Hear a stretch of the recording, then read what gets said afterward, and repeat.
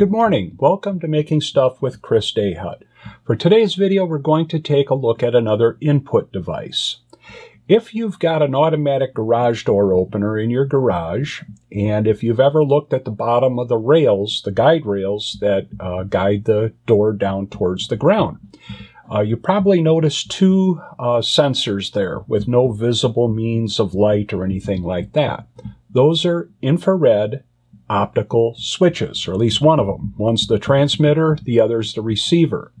As long as that switch isn't broken or the light beam between them isn't broken, uh, the garage door will come down. If that uh, light beam is broken during the process of closing the door, it will stop and or reverse.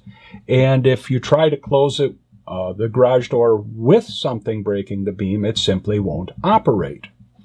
Uh, this is a smaller scale uh, version of that, and uh, I picked it up off of Adafruit, uh, and as you've come to expect from them, a relatively high quality device.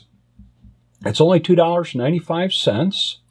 It's the 3 millimeter version. Uh, they've got a larger version with 5 millimeter uh, infrared LED on it, so it's got a little more range. This particular unit works up to 25 centimeters or 10 inches here on the bench, I've got it set up at eight and a quarter inches. And yes, we are running it or powering it on five volts. It would run on three or five, but uh, the uh, input device, uh, or I should say the output from it, is open collector, meaning that our input has to be pulled high with an uh, internal uh, pull-up resistor.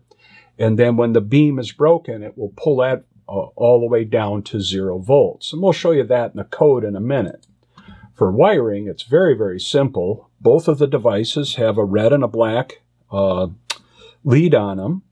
And you would wire that back to the 5 volt on the Pico and to a ground point on the Pico. And then the only other wire you've got is very simply our uh, input wire. And that's shown here in white as it is on the real breadboard. And we've got that uh, connected to GP pin 16.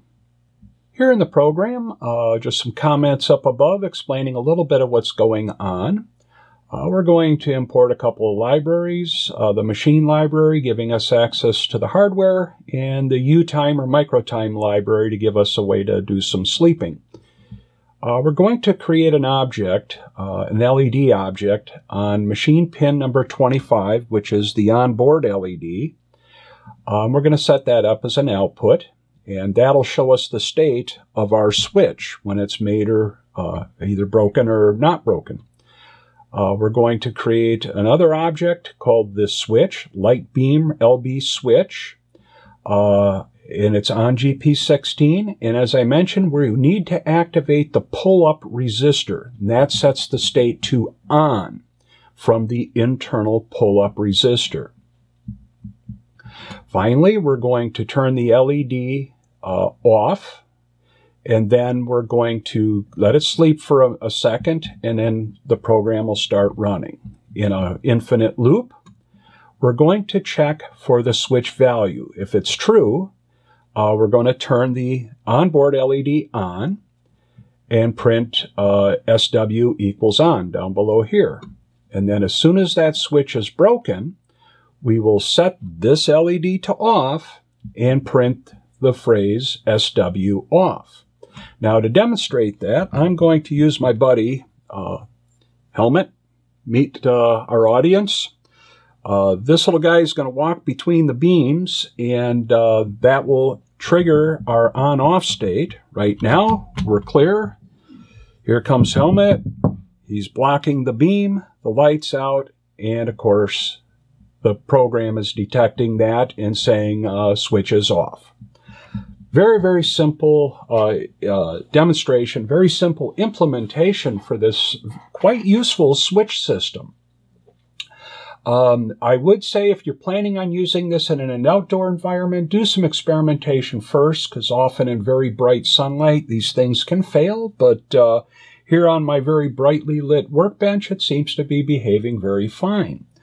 Uh, perhaps in future videos, I'm going to come up with an application for this and we'll do a video featuring it in, in uh, that situation as well.